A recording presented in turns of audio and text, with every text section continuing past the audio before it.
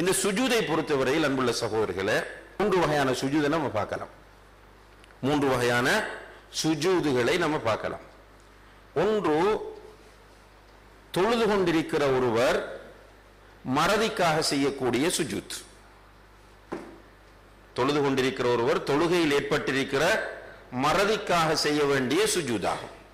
இதுக்கு பேர் அரபுல வந்து சுஜூது சஹு அல்லது சஜிதத்து சஹு மறதிக்குரிய சஜ்தா என்பார்கள். பார்ப்போம் தொழுகையில் ஒரு மறதி ஏற்பட்டால் கடைசியில சலாம் கொடுப்பதற்கு முன்னால் ரெண்டு சுஜு செய்வதைத்தான் இது குறிக்கும். இன்னும் ஒரு சஜிதா இருக்கிறது சஜிதத்து ஷுக்குர் அல்லது சுஜூது ஷுக்குர் என்பது. நன்றிக்குரிய சுஜூத். ரசல்லா அலிஸ்லாம் அவர்களுக்கு ஒரு மகிழ்ச்சியான செய்தி சொல்லப்பட்டால் ஒரு மகிழ்ச்சியான செய்தி அவர்களுக்கு கிடைத்தால் அவர்கள் உடனே சுஜூது செய்வார்கள். முஸ்லிம்ல வரக்கூடிய ஹதீஸ் இது. இதுக்கு சொல்றது சுஜூது ஷுக்குர். இப்ப நம்ம எல்லாம் நிறைய பேர் மிஸ் பண்றோம். இதை யாரு செய்யறான்னு கேட்டா இப்ப அண்ணனுக்கு கிரிக்கெட் விளையாடி போட்டு பரலு தொழாம இருந்து கிரிக்கெட் விளையாடி போட்டு வின் பண்ணின உடனே செய்யறான் ரைட் இப்போ நமக்கு பிஸ்னஸில் மாஷா அல்லா ஒரு லொஸ்டாம் லொஸ்டாம்னு பயந்துட்டு இருக்கிறோம். வெள்ளம் வெட்டுறோம். பார்த்தோம் வேண்டா மனசுக்கு பயமாறிக்கு இருக்கு எங்க கையை கடிக்க போதோ எங்க கொண்டு மாட்ட போறோமோண்டு. எல்லாத்தையும் நெல்லை வெட்டி பார்த்தா மாஷா அல்லா எல்லாம் வெயிட் போட்டு பார்க்கும்போது எதிர்பார்த்ததை விட டபுள் மடங்கு இருக்கு. உடனே சுஜூது செய்யறது. இதுக்கு சுஜூது சுக்குருன்னு சொல்லுவோம். இப்படி நல்லது நடந்தால் அல்லது ஒரு துன்பம் நமக்கு நம்மை சூழ்ந்திருந்த ஒரு துன்பம் நம்மை விட்டு அகன்றால் அதுக்காக செய்யக்கூடியதான் சுஜூ சுக்குர் நன்றிக்குரிய சுஜூத் இந்த சுஜூது செய்வதற்கு பொது அவசியமா? அதாவது தொழுகையில் உள்ள ஒரு சுஜூதை செய்வதற்கான நிபந்தனைகள் இதற்கு இருக்கிறதா?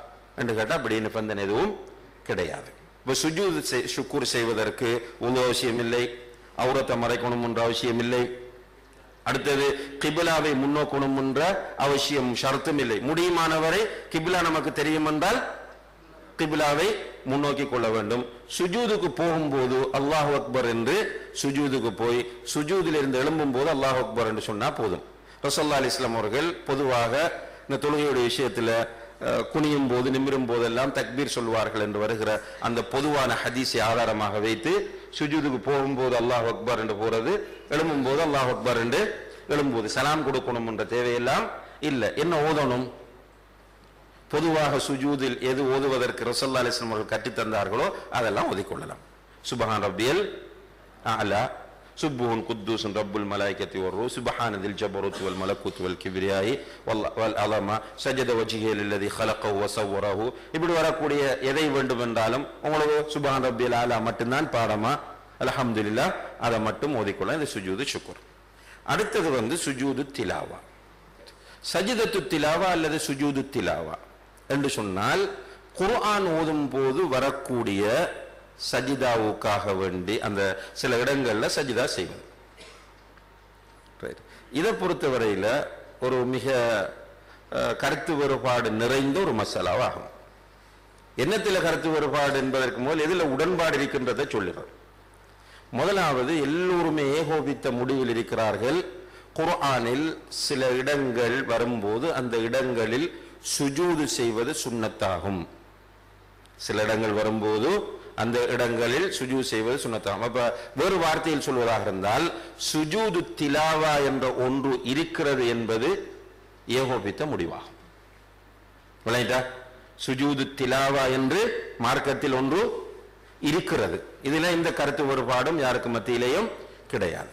இரண்டாவதாக எத்தனை இடங்களில் சஜிதா செய்ய வேண்டும்? சுஜூது திலாவத் இடம்பெறுகிற இடங்கள் எத்தனை என்று கேட்டால் நம்ம ஃபிக்கு கிதாபுகளை தப்சீர் கிதாபுகளை எல்லாம் எவ்வளவுதான் படித்தாலும் பதினைந்து இடங்களுக்கு மேல் அடையாளப்படுத்தப்படவில்லை.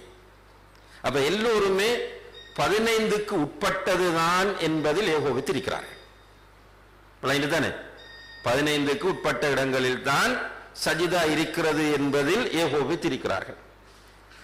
மூன்றாவதாக இந்த பதினைந்து இடங்கள் என்று நம்ம சொல்றோமே உண்மையில் பதினைந்து இடங்கள் தானா?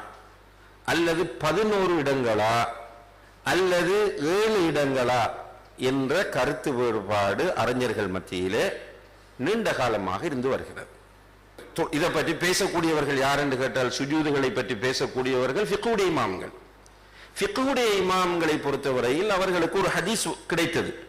அந்த ஹதீஸ் அபு தாவூத் இபுனு மாஜா ஹாக்கிம் தாரகுத்னி போன்ற ஹதீஸ் நூல்களில் பதிவு செய்யப்பட்டிருக்கிறது. அந்த ஹதீஸ்ல எப்படி வருது என்று கேட்டால் பதினைந்து இடங்களில் சஜிதா இருக்கிறது என்று வருகிறது. சுஜூது திலாவா பதினைந்து இடங்களில் இருக்கிறது என்று வருகிறது. அதுல முதலாவது இடம் சூரத்துல் அஹராஃபின் இருநூற்றி ஆறாவது வசனம். முதலாவது தான் அந்த சும்மா ஓடரை சொல்லிட்டு வார் அதே போல சூரத்துல் ராஜினுடைய பதினைந்தாவது வசனம் சூரத்து நஹ்லினுடைய நாற்பத்தி ஒன்பதாவது வசனம் சூரத்துல் இஸ்ராவினுடைய நூற்றி ஏழாவது வசனம் சூரத்து மரியமுடைய ஐம்பத்தி எட்டாவது வசனம் சூரத்துல் ஹஜ்ஜுடைய பதினெட்டாவது வசனம் அதே அத்தியாயமாகிய சூரத்துல் ஹஜ்ஜினுடைய எழுபத்தி ஏழாவது வசனம் சூரத்துல் ஃபுர்கானுடைய அறுபதாவது வசனம் அதே போல் ஒன்பதாவது இடம் வந்து சூரத்து நம்லுடைய இருபத்தி ஐந்தாவது வசனம் பத்தாவது சூரத்து சஜிதாவினுடைய பதினைந்தாவது வசனம் அதே போல சூரத்து சாதினுடைய இருபத்தி நான்காவது வசனம் சூரத்து ஃபுஸ்லத்தினுடைய முப்பத்தி ஏழாவது வசனம் சூரத்து நஜிமினுடைய அறுபத்தி மூணாவது வசனம் சூரத்துல் இன்ஷிகாக்கினுடைய இருபத்தி ஓராவது வசனம் சூரத்துல் அலக்கினுடைய பத்தொன்பதாவது வசனம்.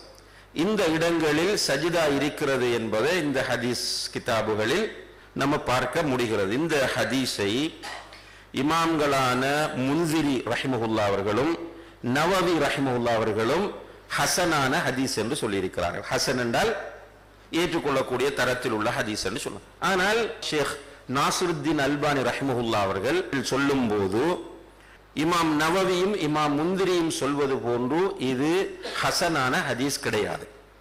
ஏனென்றால் ஹதீஸ் விதிகளின் அடிப்படையில் அறிமுகமற்றவர்கள் இடம்பெறக்கூடிய ஹதீஸ்கள் லைஃபானதாகும் ஹதீஸ் விதியில ஒரு ராவி வர அவரை பற்றி எந்த தகவலும் இல்லைன்னா அந்த ஹதீஸ் லைஃப் அந்த அடிப்படையில் இந்த ஹதீஸில் இரண்டு அறைமுகமற்ற மஜ்ஹூலான ராவிகள் இடம்பெறுகிறார்கள்.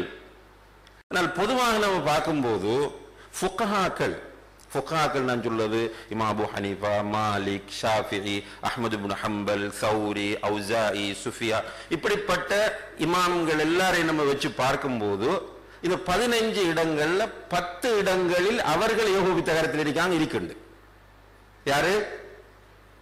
இந்த ஃபிக்குடைய இமாம்கள். அவங்க சொல்ற பத்து இடங்களும் வந்து சூரத்துல் ஆராஃப் சூரத்துல் ராஜ் சூரத்து நஹல் சூரத்துல் இஸ்ரா சூரத்து மரியம் சூரத்துல் ஹஜ்ஜினுடைய முதலாவது இடம் அதாவது பதினெட்டாவது வசனம். அதே போல சூரத்துல் ஃபுர்கான் சூரத்து நமல் சூரத்து சஜிதா. அந்த வெள்ளிக்கிழமை ஓதுறது சூரத்து ஃபுசிலத். அப்ப என்ன விளங்குது நமக்கு இதிலிருந்து? சஜிதா திலாவா என்று ஒன்று இருக்கிறது. எத்தனை இடத்தில் இருக்கின்றது தொகை ஜமாத் வந்ததுக்கு பிறகு ஏற்பட்ட கருத்து வேறுபாடு இல்லை. சிலாக்கள் செல்ல வஹாபிகள் வந்து எல்லாத்தையும் குழப்புறது தௌஹித்காரம் வந்ததுக்கு பிறகுதான் எல்லா பிரச்சனையும் இல்ல ஏற்கனவே எல்லா இமாம்கள் மத்தியிலும் இதுல சிக்கல்கள் சர்ச்சைகள் இருக்கின்றன. உடனே நான் சுண்ணத்தை வச்சுட்டு உடனே அலிஃப்லாமின் சஜிதா ஓதுறீங்க இந்த தொழுக கூடாது அது பிதியத்துண்டு வராதீங்க. யாரும் அது பிதியத் சொல்லை பயன்படுத்துவதற்கு இமாம்கள் பயப்படுகிறார்கள். இது வந்து வரக்கூடிய ஹதீஸ் என்னது?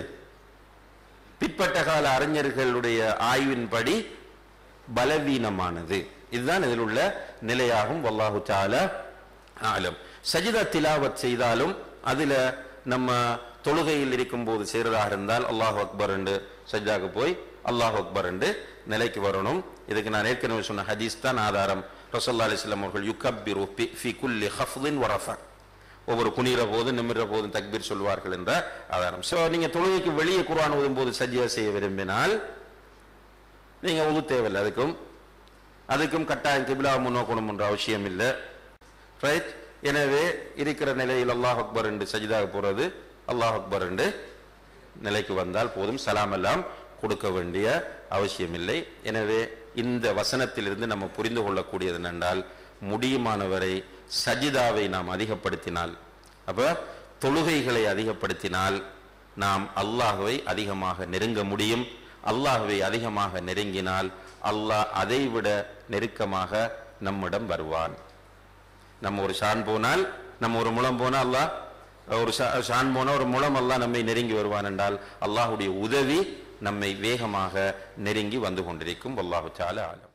எமது நிகழ்ச்சிகளை யூடியூப் வாயிலாக தொடர்ச்சியான பயன்களை பார்வையிட டாக்டர் முபாரக் மதனி ஒஃபீஷியல் எனும் யூடியூப் சேனலை சப்ஸ்கிரைப் செய்யுங்கள்.